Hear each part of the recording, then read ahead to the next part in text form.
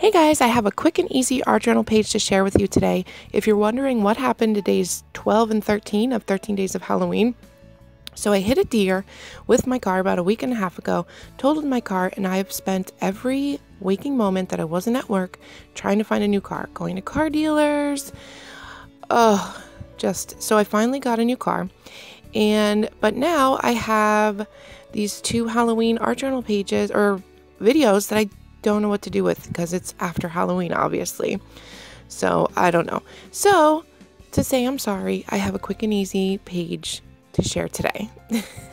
so I'm starting out in my mini handmade art journal and I'm just putting down a piece of black cardstock in my book. It's just like the cheapy black cardstock.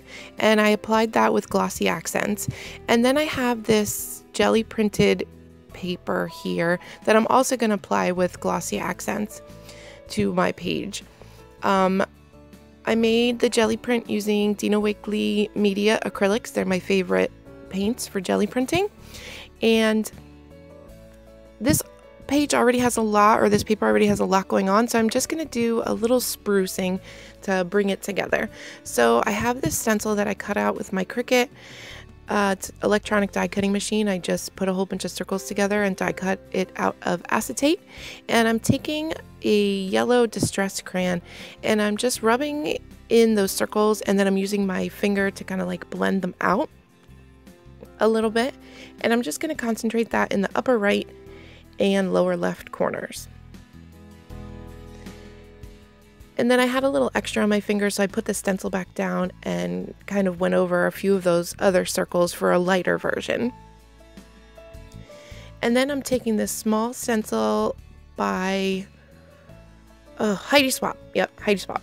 And a picked raspberry distress crayon. And I'm doing the same thing, putting the color down and then rubbing it out with my finger. okay.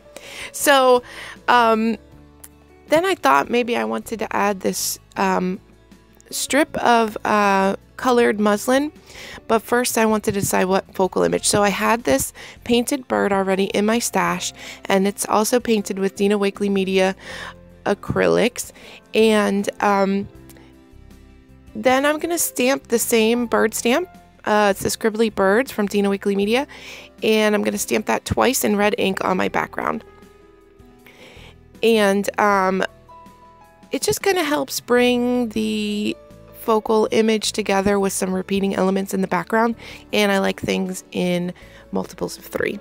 So I'm going to do a little background stamping. I have the mesh texture background stamp from Viva Las Vegas Stamps and a pink archival ink. And I'm just going to stamp that all around. And I have this chevron also by Viva Las Vegas Stamps. I'm going to use that pink ink, pink ink also for that. And then I'm going to take a little darker of an ink. No.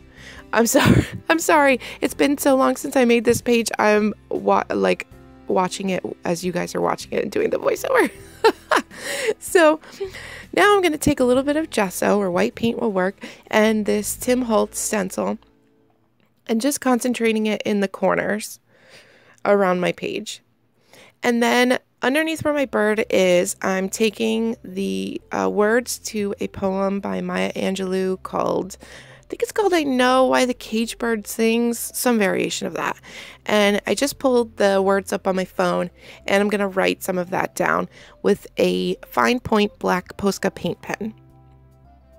It's going to give my bird something to sit on and kind of ground him a little bit to the to the bottom of the page.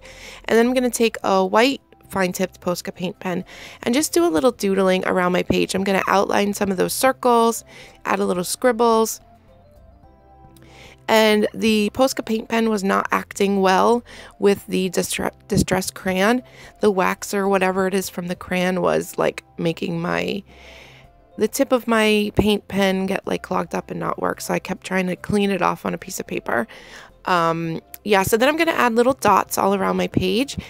And after I'm done with that, I'm taking this little strip of paper or little strip of muslin that's colored with various distress uh, stains. And I'm just going to rip that so it has like very tattered edges, glue that down with some glossy accents. And then I'm going to glue my bird down with glossy accents as well.